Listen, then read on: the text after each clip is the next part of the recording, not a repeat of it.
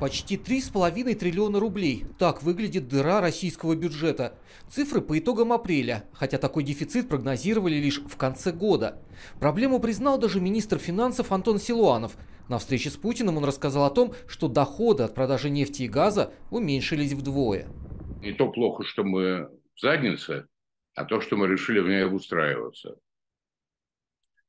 Э, то есть э, ситуация далеко не, не благостная, э, хотя и эксперты, и тем более официальная пропаганда очень активно эксплуатируют тему, что ну вот в начале этих событий нам предсказывали, что падение экономики составит 8-10%, а ВВП упал всего, по официальным данным, на 2,1%. Но, тем не менее, это все-таки падение, по словам бывшего министра экономики Андрея Нечаева, хуже всего ситуация обстоит с газовыми доходами. Если нефть теперь продается, пусть и с серьезным дисконтом на азиатские рынки, то с голубым топливом ситуация выглядит совсем иначе. Ну вот газопровод это не, не детский конструктор, где взял и, и переложил из Европы в Азию. Там, соответственно, возникают э, просто логистические проблемы, поэтому поставки газа даже в э, физической измерении, а не только в стоимостном, они резко упали. Они сейчас где-то находятся на уровне конца э, СССР, когда вообще была ситуация такого полного развала. Э, ну и, соответственно, доходы бюджета от газа, они резко упали.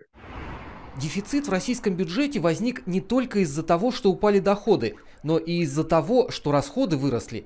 Официальные цифры перестали публиковать еще год назад, но финансовые аналитики и без того знают, на что Кремль увеличил траты. Мы не видим части этих расходов, а, они засекречены, вот, но по динамике мы можем предположить, что это, скорее всего, расходы на военно-промышленный комплекс и на стройки на аннексированных территориях. К финансовому коллапсу образовавшаяся финансовая дыра не приведет, рассуждают аналитики. В конце концов, у России есть еще кубышка под названием «Фонд национального благосостояния», но надолго ее может не хватить. В принципе, деньги есть на покрытие этого, на покрытие этого разрыва. На этот год точно есть. На следующий год, я думаю, что тоже найдут. Вот. Но я а, не уверена, что у Минфина, у правительства и у Кремля есть какой-то горизонт планирования за пределами а, вот, вот, оставшихся там полутора лет. Пока экономисты наблюдают за стагнацией российской экономики, большинство россиян оценивают ее состояние по ценникам в магазинах. И там ситуация тоже нерадостная. Если брать официальные данные Росстата, то по прошлому году он дал оценку инфляции 11,9%. Ну, соответственно, на 12% в среднем. В среднем.